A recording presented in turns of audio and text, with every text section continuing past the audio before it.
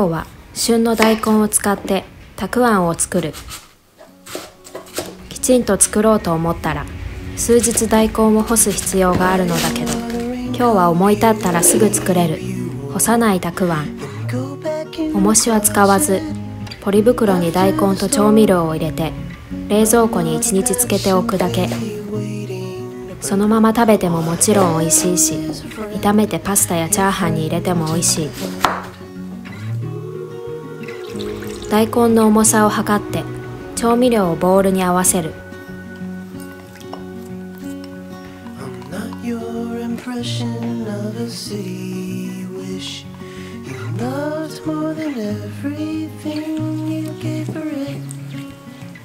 よく混ぜ合わせたらそこに昆布と鷹の爪を加える。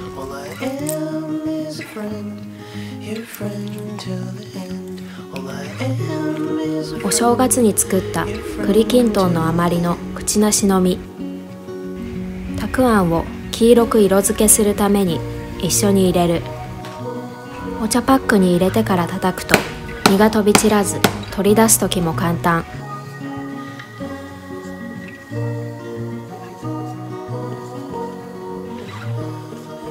保存袋に大根合わせた調味料口なしの実を入れる。なるべくきれいに並べると大根に味が入りやすい。最初は液が少なく感じるけど大根からどんどん水分が出てくるので大丈夫。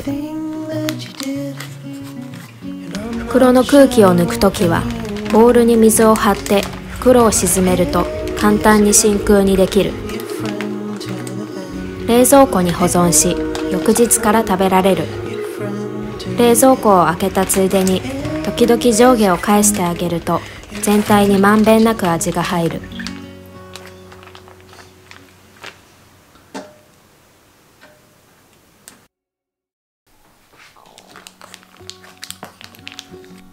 大根から水分が出て大根全体が液に浸かり口なしの色が出て黄色くなっている。翌日から食べられるけど12週間くらいが食べ頃。1日目。外側は黄色く染まりしっかりとたくあんの味がする。まだ中は白いけど浅漬けで食べられる。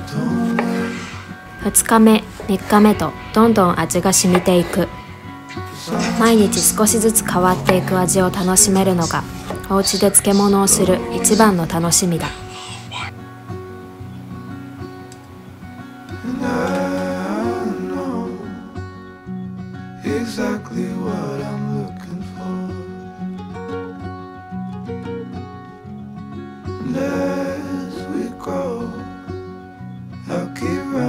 Till I can no more. You, you'll always be the one I want at midnight. You'll always steal my breath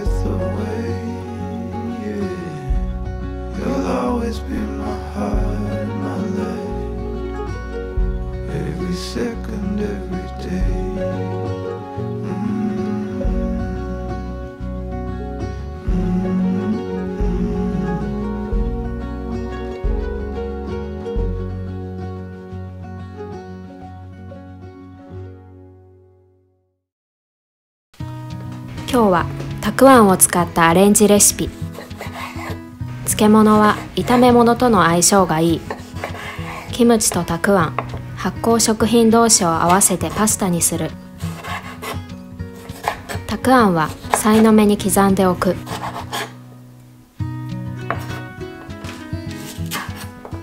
長ネギは斜めに薄切り。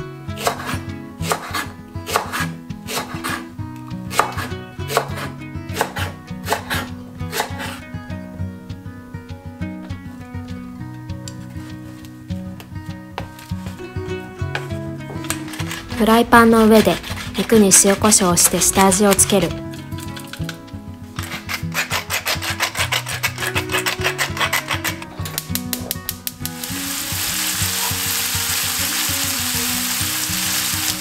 豚肉の両面にしっかりと焼き色がついたら長ネギとキムチを投入。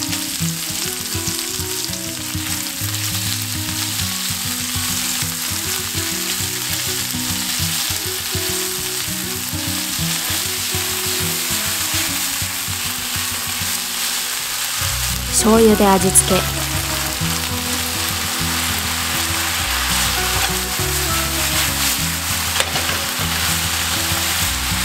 こに刻んだたくあんを入れる。甘辛いキムチ。香りのいいネギ。豚肉のうまみそこにたくあんの酸味と食感がいいアクセントになってくれる。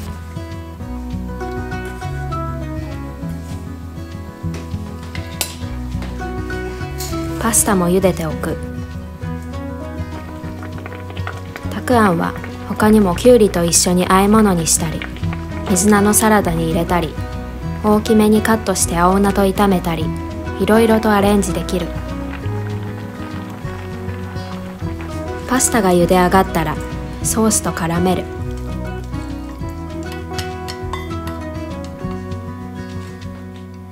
仕上げにごま油を回しかける。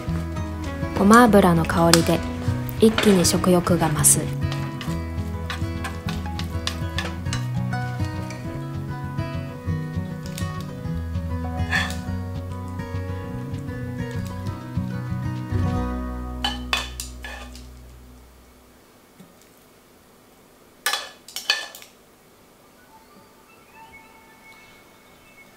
最後に刻んだ万能ネギを散らしていただきます「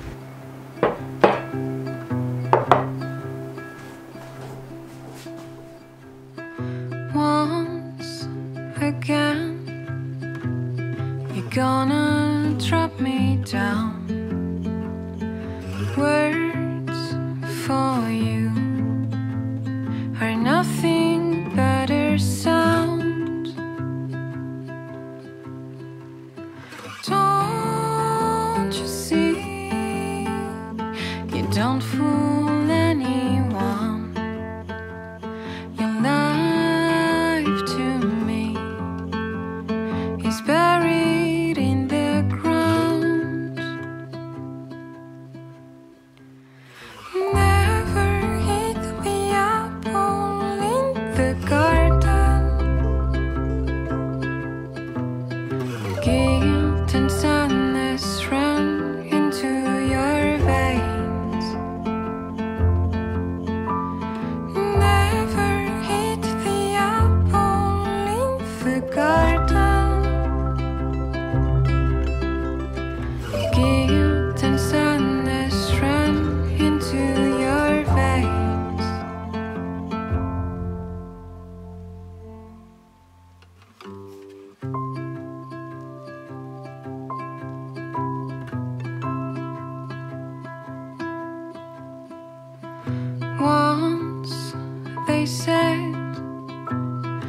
honor